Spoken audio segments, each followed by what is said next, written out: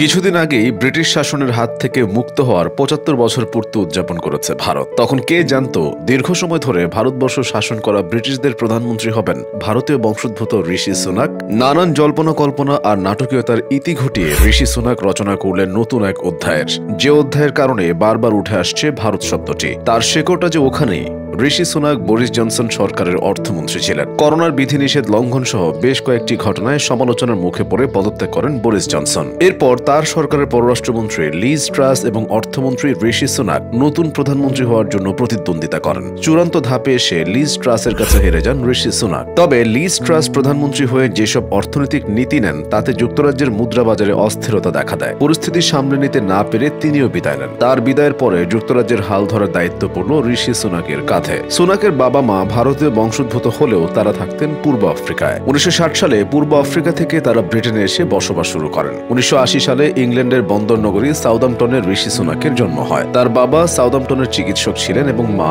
একটি ফার্মেসি চালাতেন। ফলে পরিবারটি ছিল বেশ সচ্ছল। নামকরা প্রাইভেট স্কুল উইনচেস্টার কলেজে পড়াশোনা করেছেন ঋষি সুনাক। গ্রাজুয়েশন করেছেন অক্সফোর্ড বিশ্ববিদ্যালয় থেকে। পরে আমেরিকার স্ট্যানফোর্ড বিশ্ববিদ্যালয় থেকে এমবিএ করেছেন। স্ট্যানফোর্ডেই তার সাথে পরিচয় হয় ভারতীয় ধনকুবের এবং আইটি সেবা কোম্পানি ইনফোসিসের প্রতিষ্ঠাতা নারায়ণ মূর্তির মেয়ে অক্ষতার সাথে। তারপর প্রেম এবং প্রণয়। বর্তমানে দুই মেয়ে রয়েছে সুনাক অক্ষতা দম্পতির। দু থেকে দু সাল পর্যন্ত মিস্টার সুনাক মার্কিন বিনিয়োগ কোম্পানি গোল্ডম্যান স্যাক্সে চাকরি করেছেন। পরে দুটি হেজ ফান্ডের অংশীদার ছিলেন। দেরিতে রাজনীতিতে আসলেও সুনাকের উত্থান হয়েছে দ্রুত। ঋষি সুনাক দু হাজার পনেরো সালে প্রথম উত্তর ইংল্যান্ডের ইয়র্কশায়ার কাউন্টি রিচমন্ড এলাকার এমপি হন। ব্রেক্সিট অর্থাৎ ইউরোপীয় ইউনিয়ন থেকে ব্রিটেনকে বের করে আনার পক্ষে কাজ করেছেন তিনি।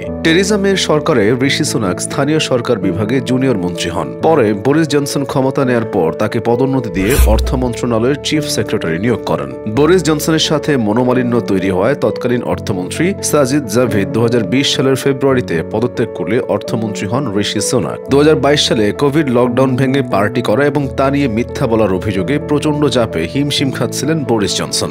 জনসনের এই চাপের মুখে অর্থমন্ত্রীর পদ থেকে পদত্যাগ করেন সুনাক। তাই অনেক রাজনৈতিক বিশ্লেষক মনে করেন, সুনাকের পদত্যাগের মধ্য দিয়ে বরিস জনসনের পতন ত্বরান্বিত হয়েছিল।